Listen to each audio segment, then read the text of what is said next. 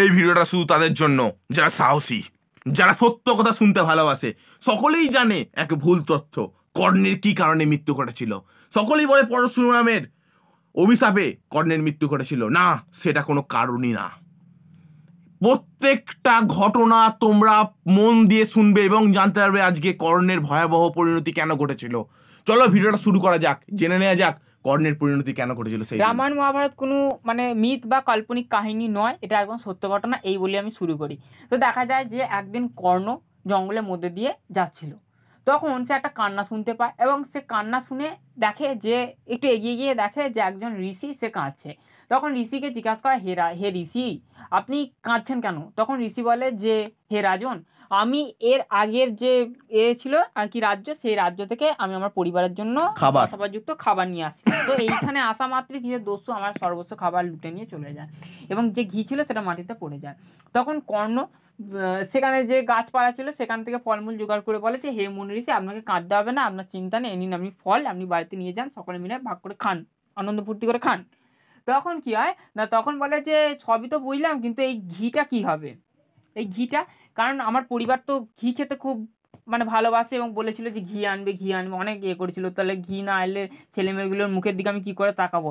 তখন ধরিত্রী মাকে কর্ণ অনুরোধ করে বলে যে হে ধরিত্রী মা আপনি যে আপনার বুকে যে ঘিটা পড়েছে অর্থাৎ মাটিতে যে ঘি পড়েছে আপনি ফিরিয়ে দিন। অর্থাৎ এই মনি ঋষিকে দয়া করে ঘিটা আবার ফিরিয়ে। দিন। ঠিক আছে? তখন ধরিত্রী মা অনেক মাকে অনুরোধ করার পরও দেখা যাচ্ছে যখন সাড়া পাচ্ছে না তখন কর্ণ কী হয় না অধৈর্য হয়ে গিয়ে সেই মাটিটা তুলে মাটিটা প্রচণ্ড পরিমাণে চাপ দেওয়ার ফলে কি হয় না, সেখান থেকে ঘি বেরিয়ে আসে এবং সে ঋষিটা জোগাড় করে নেয়।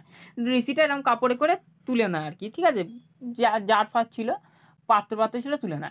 তো এরপর কিছুক্ষণ পরে দেখা যাচ্ছে একটা বিরাট বড় আওয়াজ আসছে। কোত্থেকে আসছে, কর্ণ বলছে, কোত্থেকে আসছে কোথেকে আসছে? দেখা হাতের মুঠো থেকে আসছে। তখন হাতের মুঠো খুলে দেখে ধরিত্রীমা কাঁদছে। প্রচণ্ড পরিমাণে পিতা মানে পীড়ায় পীড়ায়। পীড়িত হয়ে আছে, ব্যথা পেয়েছে। তখন ধরিত্রীমা কর্ণকে অভিশাপ দেয়, হে কর্ণ, তোমার সবচেয়ে গুরুত্বপূর্ণ দিনে, সবচেয়ে গুরুত্বপূর্ণ দিনে আমি তোমার পরম শত্রু হয়ে দাঁড়াবো। দেখে নিও, এটা আমার অভিশাপ। তো এরম করে বলল। তো বলার পর কি হয় না, মহাভারতের অন্তিম পর্বে দেখা যাচ্ছে যে যখন কর্ণ জিততে যাবে, ঠিক সেই সময় ধরিত্রীমা দেবো এবার। বলে ধরিত্রীমা কি করল? না কর্ণের রথের চাকাটা ক্যাপ। চেপে ধরলো। তো চেপে দেওয়ার ফলে কি হলো? না সে যখন কর্ণ- অর্জুনকে মারতে যাবে ঠিক সেই সময় কর্ণের রথের চাকা যেহেতু এ হয়ে গেছে সেহেতু তীর যে মেরেছিল সেটা তীরটা এদিক এদিক হয়ে গেল।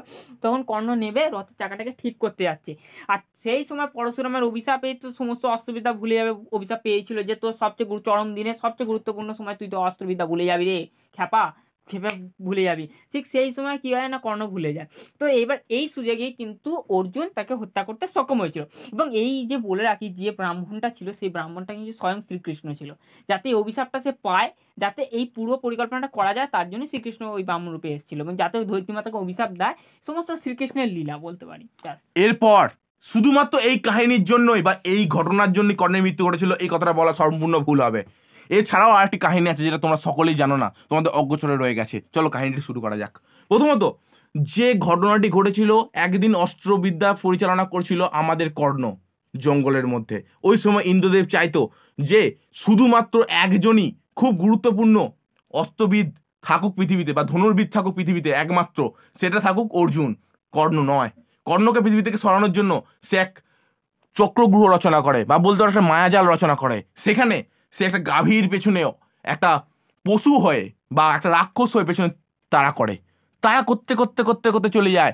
আর সেই জায়গায় ওই রাক্ষসটাকে বধ করে গড় করার জন্য এবং গাভীটাকে বাঁচানোর জন্য স্বয়ং কর্ণ একটা তীর চালনা করে এবং তীরটা গিয়ে গাভীতে লাগে এবং গাভী সেই মুহূর্তে কাদার মধ্যে আটকে ছিল।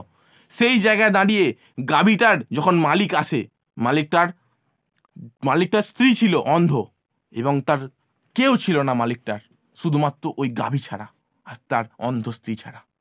সে তখন চোখে অশ্রু নিয়ে অভিশাপ দেয়। হে কর্ণ তোকে আমি অভিশাপ দিলাম। যেভাবে যেভাবে কাদায় পড়া গাবিকে আমার গাবিকে তুই হত্যা করলি সেইভাবেই সেইভাবেই তুই হত্যা হত- তোকে হত্যা করা হবে এটা আমার অভিশাপ রইল। তুইও মাটিতে গাঁড়া কিছু না কিছু তুলতে গিয়ে তুই মরবি। অসংখ্য ধন্যবাদ এই তিনটে কারণের জন্য মেন। প্রথম কারণ অস্ত্র তুই ভুলে যাবি। দ্বিতীয় কারণ তোর চাকা গ্রাস করব। তৃতীয় কারণ, তুই ওই যখন দলদল অবস্থায় থাকবি, তোর পা আটকে যাবে এবং তোকে কেউ তীর ছুঁড়ে মারবে। এই কাহিনীর জন্যই কর্ণের মৃত্যু ঘটেছিল। আর আমাদের চ্যানেলটা ভালো লাগলে বলেই রাখি চ্যানেল ভালো লাগলে অতি অবশ্যই লাইক করো সাবস্ক্রাইব করো। বন্ধুদের মাঝে প্রচুর পরিমাণে ভিডিওগুলি শেয়ার করে দাও। পাশাপাশি বলে রাখা বলে, এরকম নিত্য নতুন অজানা তথ্য ফ্যাক্টস এবং নানা রকম মজাদার কাহিনী শুনতে হলে, কাহিনী না, সত্য ঘটনা শুনতে হলে অতি অবশ্যই চ্যানেলকে সাবস্ক্রাইব করে। ভালো থেকে, সুস্থ। দেখা হচ্ছে পরের ভিডিও ততক্ষণ পর্যন্ত অপেক্ষা করো। আমরা তৈরি করছি নতুন ভিডিও দেখি নতুন কি আছে।